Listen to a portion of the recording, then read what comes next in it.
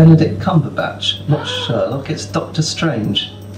I'm going for, that's correct, it's Doctor Strange, isn't it? Part, you're half right. I'm half right. Steve Strange. I'll take that as completely right.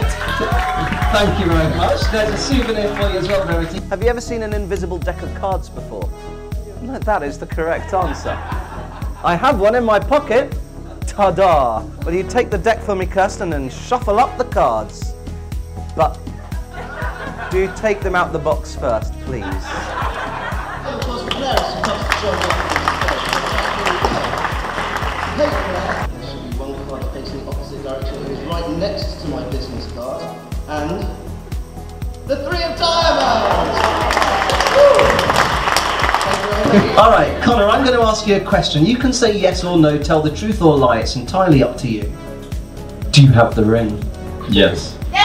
Says yes, focusing off into the distance. He doesn't want to make eye contact with me until I mention that, and then he makes eye contact with me. You are a. I'm surprised, but I think that was a lie. You're empty. Open up. Thank you very much.